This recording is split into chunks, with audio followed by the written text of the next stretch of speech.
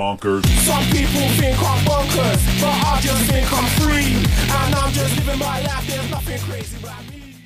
Morning, Facebook friends and Instagram lovers everywhere. How are we doing on this fantastic motivational Monday, guys? I hope you've had a fantastic weekend in the beautiful, beautiful sunshine, um, and that you've been up to some fun stuff, whether it's training or just enjoying relaxing.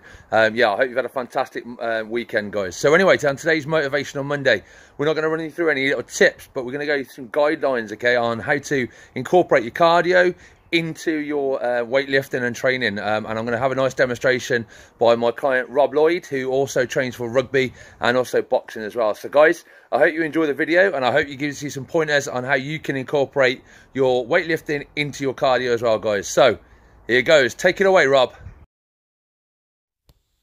Okay, so here you go. Rob's going to start off with deadlifts, smashing out 10 reps. As you can see there, the bar staying right against the legs bending the knees, dropping the bum down, and really driving back through the legs on the way up. Trying to keep his upper back as flat as possible, shoulders pinned back, and really engaging that upper back to keep control of the bar. Good form, keeping a good pace going.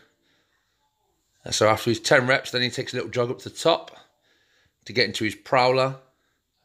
Now, the video is full length, but guys, I just wanted to get um, an impression of just how tough this little workout is.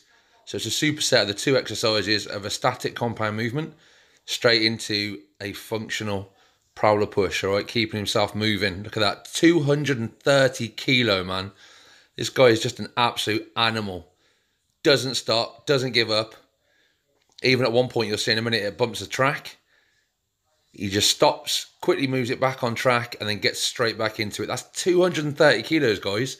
I mean, that is like, that's over two of me. It's absolutely crazy. This guy's an absolute machine. You don't have to be going this heavy though, you know. You could go just the weight that you need to go to push it as hard as you need to push it, yeah? Whether it's just a 10 kilo plate either side or coming up to Rob's kind of, look at it, Rob's kind of levels. Look at that, shifts over, deep breath and gets straight back in. I mean, this thing is absolutely draining his energy. His legs legs are dying but he does not stop. He does not give up, and that's the way that he needs to. That's the way he and you need to just hit life, guys. Do not give up. Do not stop, and just keep pushing, keep moving. Look at him, absolute animal. Still even got time for a fist bump. Good work, Rob. I hope that video gave you some good tips, guys, and I hope that you uh, learned a little bit from it. Um, and also that you're motivated by the amount of power and strength that this guy's got. Um, you know, we've all got it in us, guys. You've just got to find out um, the switches to be able to help you dig deep and work hard. Um, and he certainly knows how to, you know, flip his switches and go for it. So anyway, yeah, but without further ado, do guys, enjoy your motivational Monday. I hope you train hard and you work hard. Um, and yeah, if you enjoyed the video, give us a thumbs up. And uh, I'll speak to you all soon. Happy Motivational Monday, guys. Let's go train. Woo!